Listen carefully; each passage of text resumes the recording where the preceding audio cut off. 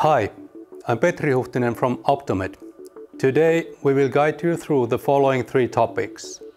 Setting up Optomed Aurora and the connections, capturing good retinal images, preliminary image analysis and transferring of the images.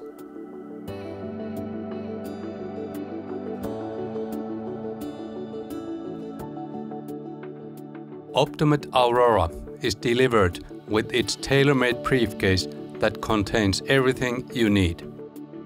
Camera, retinal module, anterior module, charging station, USB cable, power supply, eye cups, batteries, USB flash drive, cleaning cloth, and the user manual. It is best to start the installation with the charging station and the power supply and USB cables. The cables are connected on the bottom of the charging station. Next, we connect the retinal module to the camera and one of the eye cups to the retinal module.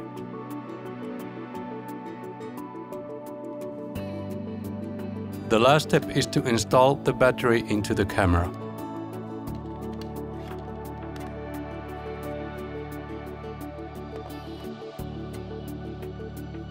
The other battery can be stored on the charging station. The design of the device is simplified to make it easy to use. There is a dual action shutter button for image capture eject button to detach the optics module, optoroller for navigation, and power and back buttons. The LEDs show the status of the charging. When the power is turned on, it takes a short while to start the system.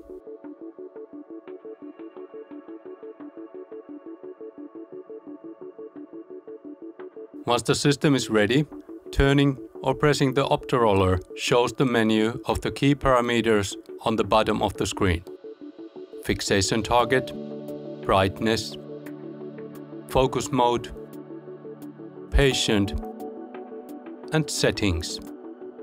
On the top of the screen, there are icons showing the selected settings and the status of the battery and wireless connection.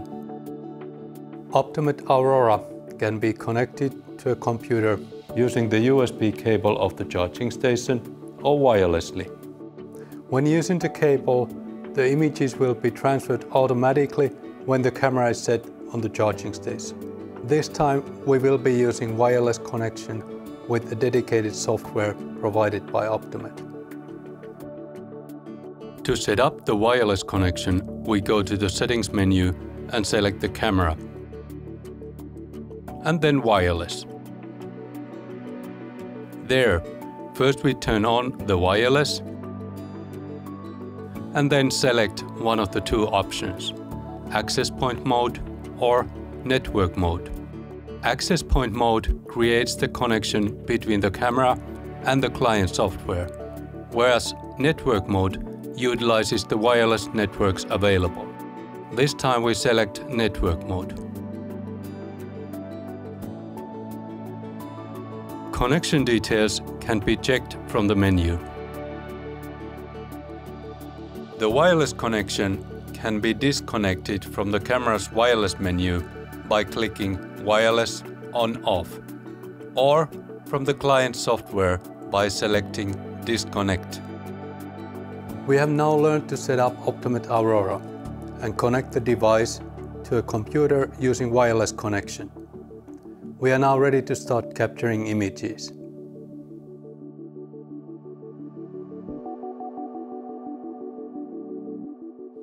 We will show you next how to take good retinal images.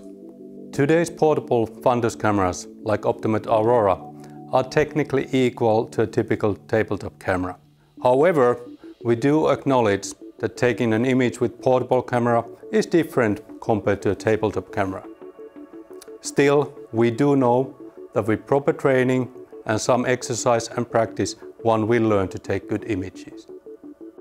For optimal imaging conditions, it is good to dim the lights and remember the importance of hygiene. First, we select the following parameters. Patient is used to create a new folder for images of each patient.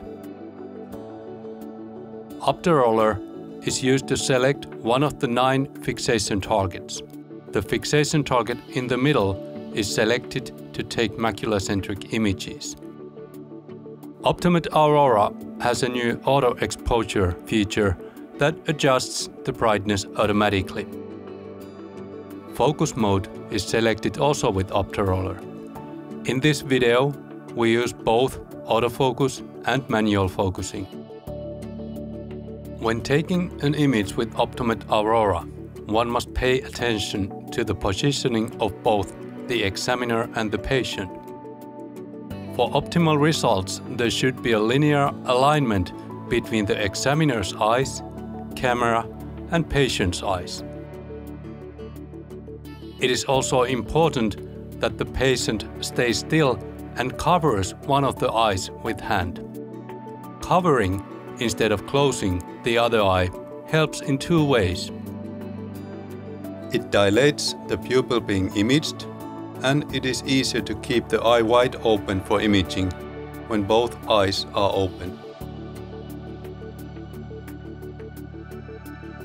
Hold the camera with one hand and support the optics module with the other, keeping the hand against the patient's forehead.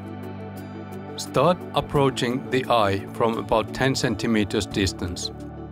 There are guiding frames on the screen, which are red until the camera is in the right distance. Keep the pupil in the center of the display and approach until you can see the reflection from the retina, which appears grayish. Get slowly closer while keeping the view of the retina in the center of the display and close in until it fully fills the viewing area. If adjustment is needed, it is recommended to adjust the device with the hand supporting the optics module. Use only very small movements as it is easy to lose the target. If the view is lost, just withdraw the camera a few centimeters and realign to the pupil. When the frames turn into green, move the camera approximately 1 mm forward to get in the right distance. When using autofocus, press the shutter halfway to activate it. Red square appears on the screen. The color of the square indicates to the examiner when the image is in focus. So, when the square turns into green, the image is in focus and image can be captured by pressing the shutter. As we have shown here, taking a good image with Optomed Aurora is simple. One just have to pay attention to the camera settings and a few key variables when taking the image.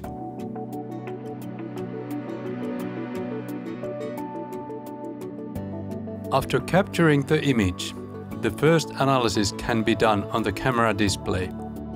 One can mark left or right eye, zoom in or delete the image. In addition to checking the image quality, Optomed Aurora can also provide instant feedback about the technical quality of the image. The camera displays traffic lights to comment on possible reflections and the sharpness and brightness of the image. Let's take a look at some poor quality images and discuss about possible corrections. Sometimes there are reflections in the image. The location of the reflection may indicate the root cause. Namely, the imaging distance has been too long if the reflection is on the bottom of the image. On the other hand, the camera has been too close if the reflection appears on the top of the image. Reflections can be avoided in many cases by paying close attention to the guiding frames, focusing on the patient's stable position, and holding the camera steady throughout the image capturing procedure.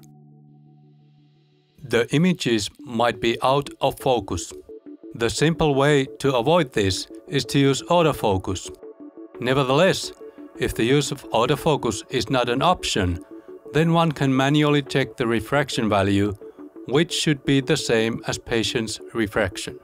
In addition to that, the patient should be reminded to fixate to the target when the image is taken.